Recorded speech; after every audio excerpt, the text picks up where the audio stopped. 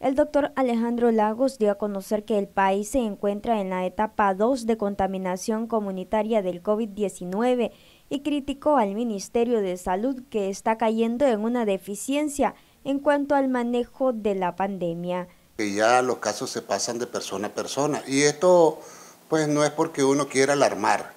sino que realmente los tres casos, cuatro casos que han llegado a Cuba procedentes de Nicaragua,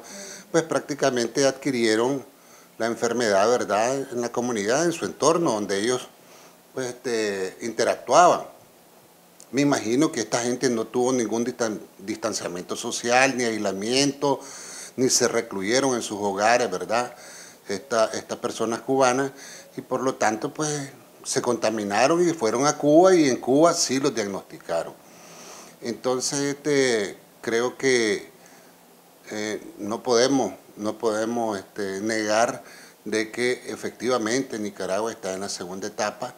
y que no hemos visto el número de casos que debería de, reflejarse en el pico epidemiológico ya o, en esta curva exponencial, este, porque el gobierno mantiene la información manipulada, la mantiene escondida, la mantiene verdad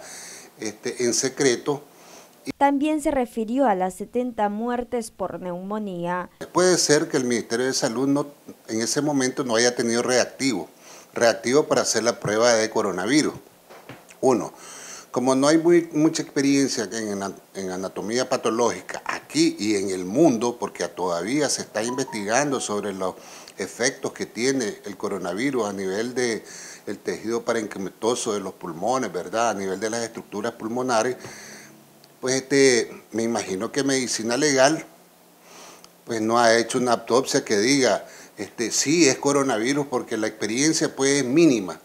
en ese sentido. Entonces este, no le queda más que el Ministerio de Salud acomodar estos diagnósticos de defunción y sacar una estadística que diga, bueno, hay sesenta y pico de muertos, 70, 80, lo que ellos quieran, porque como ellos manejan la información, este, y le ponen cualquier diagnóstico. Noticias 12, Darlene Telles.